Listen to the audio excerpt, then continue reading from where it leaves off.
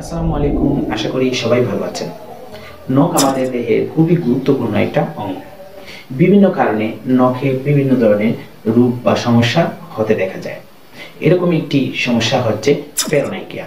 পেরোনাইকিয়া হচ্ছে নখের আশপাশের মাংসপেশি বা মাসেল ফুলে গিয়ে লাল হয়ে যেতে পারে, মৃদু থেকে তীব্র ব্যথা হতে পারে এই রোগ ছেলে মেয়ে উভয়েরই হতে পারে, যে কোনো বয়সে এই রোগ হতে পারে। পেরোনাইকিয়া হচ্ছে দুই ধরনের।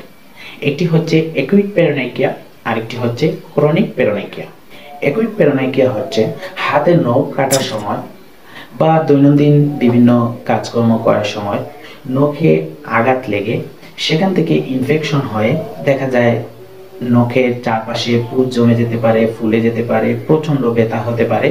এই ধরনের রোগীর ক্ষেত্রে আমরা সাধারণত যেটা করে থাকি, সেটা হচ্ছে আমরা বলে থাকি যে কুসুম গরম পানিতে বা যতটুকু সহনশীল, ততটুকু গরম একটা কাপের মধ্যে আধা কাপ বা এক কাপ পানি নিয়ে সেখানে কয়েক ফুটা পবিনন আয়োডিন যেটা মার্কেটে বিভিন্ন নামে পাওয়া যায়, যেমন বায়োডিন পবিসেট বিভিন্ন নামে পাওয়া যায়, সেগুলো কয়েক ফুটা কুসুম আধা কাপ বা এক কাপ কুসুম গরম পানিতে বা সহনশীল যতটুকু সহ্য করা যায় ততটুকু গরম পানিতে দিয়ে আঙ্গুল ডুবিয়ে রাখার জন্য সেক্ষেত্রে যেটা হবে, ব্যথার তীব্রতা বা রোগের তীব্রতা অনেক হ্রাস পাবে।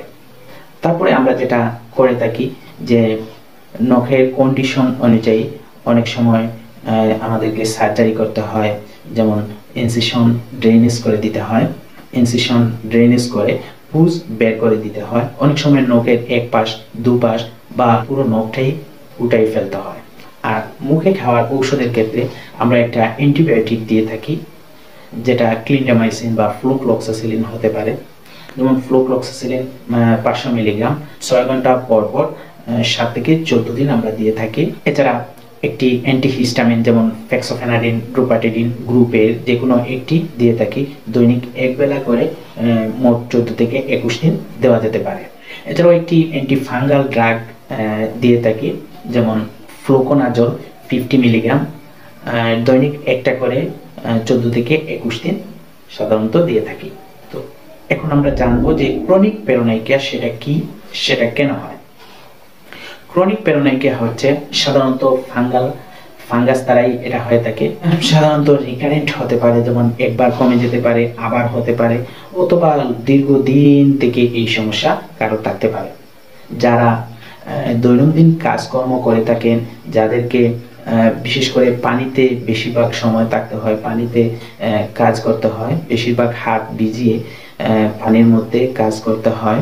আঙ্গুলের অপরিষ্কারতার কারণে নখের যত্ন না নেওয়ার কারণে এবং যারা কাদার মধ্যে সবসময় কাজকর্ম করতে হয়, তাদের ক্ষেত্রে এই সমস্যাটা একটু বেশি হতে দেখা যায়।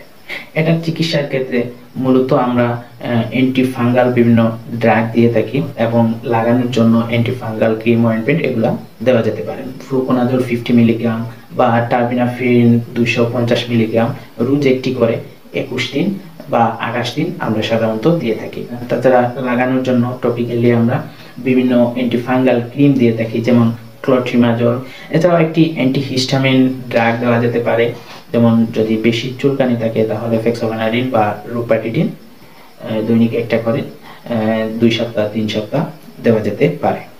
এই হচ্ছে আমাদের মোটামুটি প্রেরণাইকিয়া চিকিৎসা।